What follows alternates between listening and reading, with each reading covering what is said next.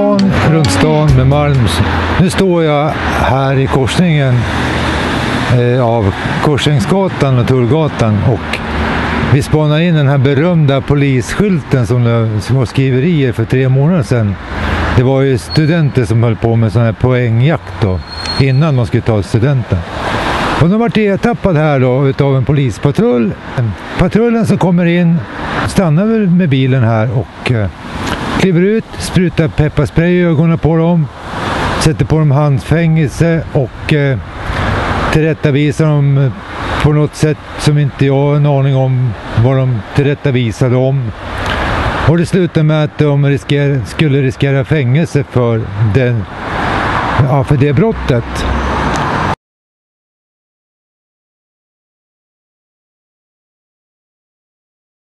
Vad heter du? Rebecka, Frida, Sofie. Vad tycker du om en sån sak? Jag tycker bara att det är töntigt. Det är en poängjakt. Vad tycker du att polisen skulle ha gjort istället? Jag vet inte. Jag tycker bara låt ungdomar, alltså det händer en gång om året liksom. Nu kunde jag stanna vid att bara sagt åt dem att ja, ni försökte med det, nu kan ni gå hem, än hålla på med massa onödig brutalitet. De vet ju att det händer. Ja, de borde ju vara informerade om det. Precis. Vad tycker du om polisens ingripande? Alltså jag tycker de gör både rätt och fel. Det är väl kanske lite väl grovt att försöka ha sönder och förstöra men alltså, ja. det är fortfarande en poängjakt. Det händer en gång om året och det Vad tycker du om det här? Ja, alltså jag tycker det är väldigt grovt med att ta pepparspray på dem och hand... Heter han handfängsel? Handfängelse? Ja, handbojor.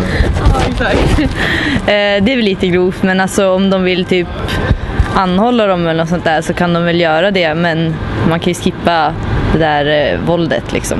Vad skulle de ha gjort istället tycker du, polispatrullen som kom då?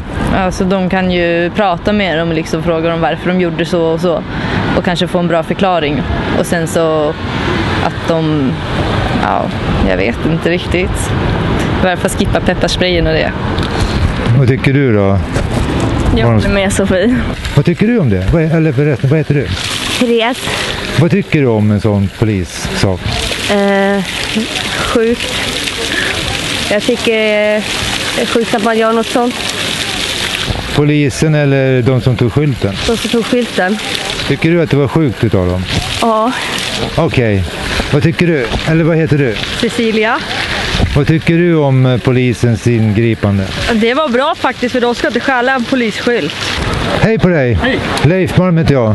Vad heter du? Stig Forshult. Ja, för det första tycker jag att sånt ska ungdomar låta bli. Va? Men det är ungdomligt oförstånd får man väl kalla det. Så man får inte liksom slå till med stora slagskepp direkt. Va?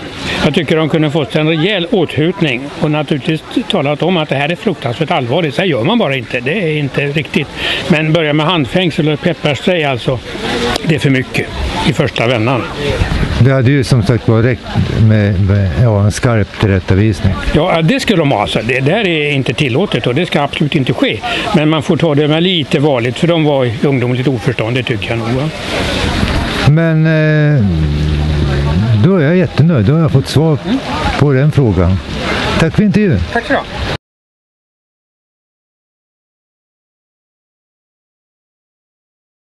På span runt stan med Malm. Hej! Är det inte lite jobbigt och farligt att stå här? Eller känner du så? Eh, nej, det är väl det är mycket trafik men det är ju, alltså den är ju ganska bred den här kanten så att det känns väl helt okej ändå. Vad är det för blommor du ska sätta nu då? Eh, vi håller på att komplettera lite grann. Det här är en eh, sockblomma.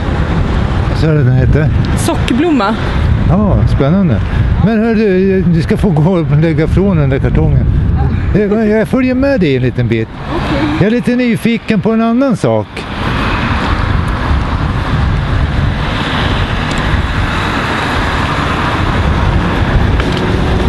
Som jag funderar på när, när man åker förbi här, som alla kommunala rondeller.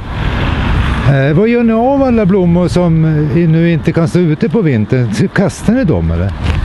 Eh, alltså jag är inte rätt person att fråga om det tror jag. Det är min första säsong här så jag vet inte allting alls. Nej, okej. Nej, jag bara funderar på det. Men hur länge kommer de här kunna stå nu då? Fram till första snön då eller? Nej, det här är perenner så de står ju kvar. De, de eh, överlever liksom? Ja. Ja, de återkommer varje år alltså? Ni hör vilken kunskap jag har när det gäller blommor. Perenn, den återkommer varje Ja, år. precis. Så det är ingen som slår mig på fingrarna om jag säger det till Vi någon. har ju nästan bara perenna planteringar. Det är ju bara de här urnorna av det som är sommarblommor liksom. Egentligen. Och brolådorna. Din kompis där, vad planterar hon då? Samma saker som dig? Ja, samma sak. Samma blommor heter det visst. Ja, men du, du ska få fortsätta med det här. Det var jättekul att jag fick prata med dig. Va- Vad heter du? Eva, Har du, ni kompletterar växter. perenner då, som har dött ut under sommaren så vi sätter dit nya nu. Okej, men vad händer med blommorna nu då som har stått över sommaren? Kastar ni dem eller? Nej, är det perenner då får de stå kvar och vara liksom lite fina, torkade under vintern. Och är det sommarblommor, de, de vinar ju ner då. Och då gräver ni upp det bara kastar sätt- sätter ni nya nästa år? Ja. Men det, vi har inte så mycket sommarblommor i rondeller heller. Det är mest perenner och buskar i, i rondeller. Jaha, eh, hur länge har du hållit på med det här jobbet då? Ja, det är tredje säsongen. Tycker du om att hålla på med det här? Ja, har alltid varit ute och hållit på och grejat. Ja, men vintertid, vad gör du då, då om jag får vara nyfiken? Ja, en vinter då var jag här och skottade snö och såga. Och sen har jag varit på dagis. Vilket trivs du bäst med? Ja, det är nog båda delarna.